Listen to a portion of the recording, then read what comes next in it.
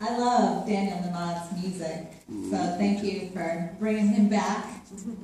He speaks very specifically to the point that we're trying to make tonight, so I wonder what his opinion would be of lifestyle design.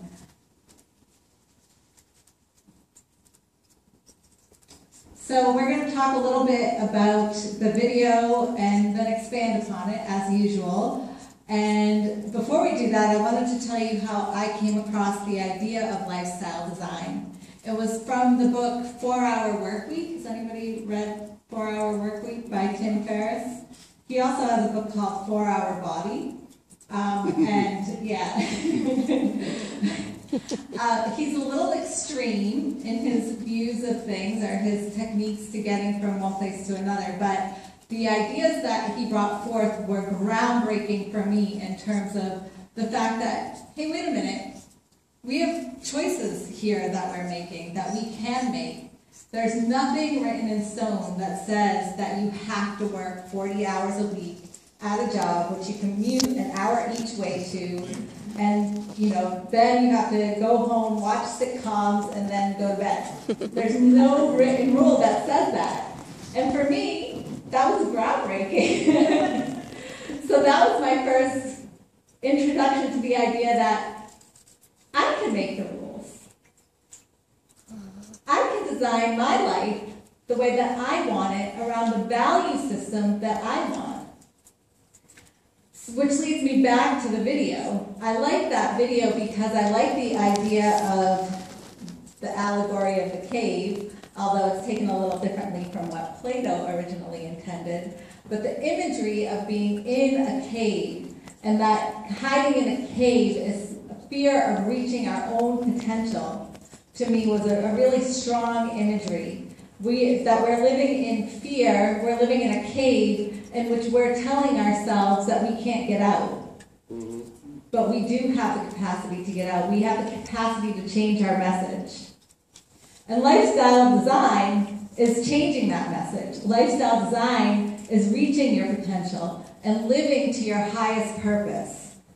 And if working, if driving an hour to and from work each day and working 40 hours a week in an office is not reaching your highest potential, what is going to reach your highest potential? Now, on the other hand, if working 40 hours a week and driving an hour each way is reaching your highest potential, please keep doing that because that's what you're meant to do. For me, that wasn't what I was meant to do. I can say that pretty for sure. so I came across this meme on Facebook when I was looking through, um, when I was trying to figure out what to say tonight. And it says, never get so busy making a living that you forget to make a life. And I think at one point, most Americans get there. Mm. Where they get so busy making a living, you get so busy in the grind, in the nine to five, in the, you know, I have to make money so that I can keep food on the table, so that I can keep my kids in private school, whatever your thing is, so, so that I can drive a Mercedes. We get caught in this grind of trying to get more and more and more, trying to you know, make a living, that we forget to step back and say, what is my life? And that's where lifestyle design comes in. So, how to live your life by design? I would be clear. When I was going through this, I was going to talk about The Secret. And I love the book The Secret. But I felt like the short videos about The Secret missed the point. They focus on, you know, Learn the secret so you can get more money. Learn the secret so you can lose weight. Learn the secret so that you can have a car. You can have your, you know, trip to Tahiti. Okay. Read the secret so you can get all those things. but I think that that is missing the point. I think a lifestyle, lifestyle design says, if that's what you want, you can have all those things. But is that really what you want? Do you really want to lose weight? Because if you do, you can. Do you really want to go to Tahiti? What are you willing to give up in order to be able to go to Tahiti? That's what you have to figure out. Figure out what are your non-negotiables. And in Seven Habits of Highly Effective People, Stephen Covey calls these your big rocks.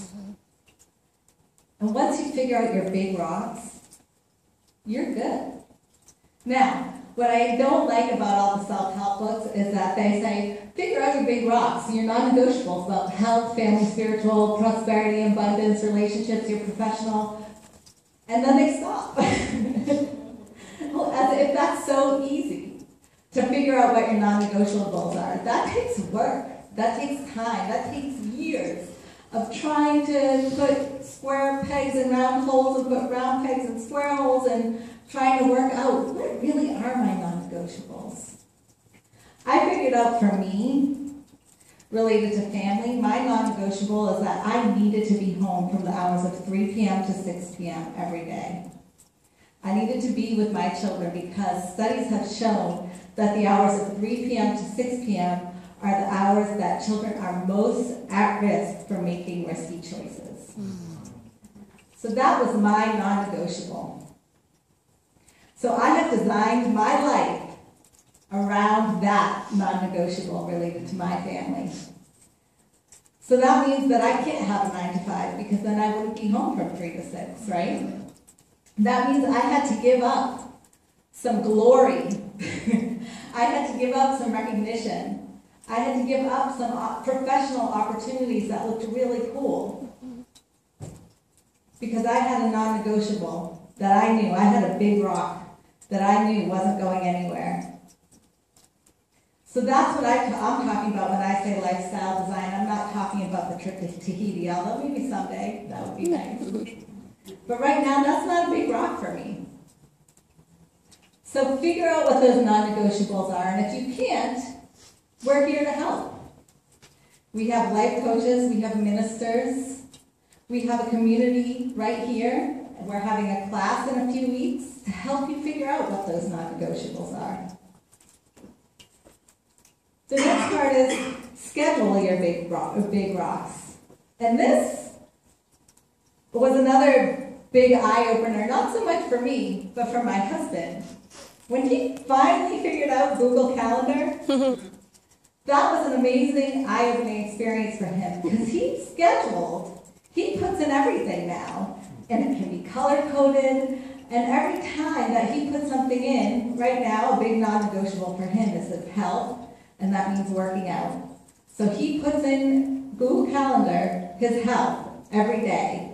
And every day, he has to make a conscious decision to press that button to say, Yes, I acknowledge that I got that, the alarm. Uh-huh. And then he has to be intentional and remove the excuses and say either, yes, I'm going to do what I said I'm going to do and keep my agreement to myself, or no, I'm not going to do it. But putting it, scheduling it in his calendar and getting an alarm and a reminder makes sure that he has to be intentional about it. So that's one little trick that you can use tomorrow or tonight. You can start putting in your big rocks. The next thing is to be conscious of how you feel. That is going to help you acknowledge what your non-negotiables are. If you can listen to that still small voice inside of you, and you can say, hmm, I have a choice here to eat a cookie or not eat a cookie. If I eat this cookie, how is it going to make me feel? How what am I being intentional right now? Or am I trying to eat something away, eat away my problem? Mm-hmm. So being conscious of how you feel will help you get in touch with what those non-negotiables are and what those big rocks are. And also, be gentle with yourself. If you choose to eat that cookie, eat the cookie. Amen.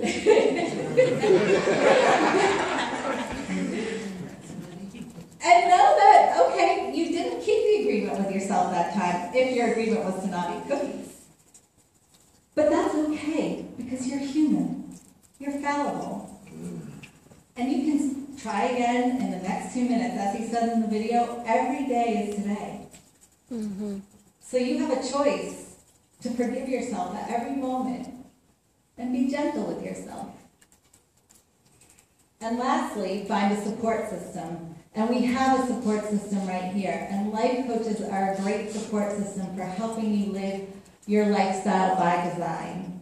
And it's not so much about holding you accountable or being Jillian Michaels or something like that. It's more about helping you through the process of becoming. And that's what your support system should be doing. And Reverend John's going to talk a little bit more about that in masterminds and finding those people who are going to support you no matter what. So, when you're thinking about what these non negotiables are that you want to design your life around, it's good to have some resources to fall back upon. So, I put together a couple of my favorites, and I tried to put together a couple that were quick and easy reads, some of which you can find, if not the whole book online for free, you can find parts of the book online for free, or you can find parts of the manual or the system online for free. So I'll leave this up here for a second. The first one is related to money. So what are your non-negotiables around money? And The Soul of Money is a great book, which I think Reverend John recommended to me. So um, it's duly recommended. Seven Habits of Highly Effective People talks about the big rocks and the little rocks. Getting the Love You Want was recommended to me by our life coach Ali, so again, duly recommended. And that's going to help you deal with your love relationships. Women, Food, and God, which I wish she did not name Women, Food, and God and had just named Food and God. because men can benefit from this book just as much as women. And the seven laws of spiritual success is a quick, easy, free read that you can just Google tonight. Hmm. And it will get you inspired, it will get you thinking differently. So when you're thinking about lifestyle design, and you're thinking about those non-negotiables, I want to leave you with the question that the video talked about. What is the message that you're giving to yourself and to life? And design your life around that positive message.